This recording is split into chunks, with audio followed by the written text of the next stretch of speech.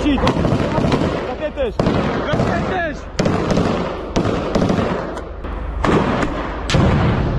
Militer Israel memberikan serangan kejutan kepada militan Hamas dengan menyerbu markasnya pada Selasa 2 Januari 2024 malam.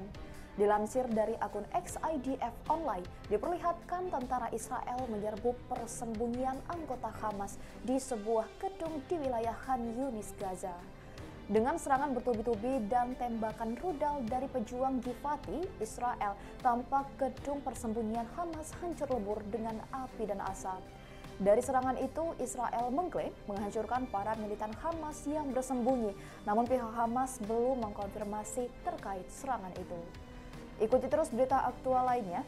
Jangan lupa like dan share seluruh akun Tribun Medan.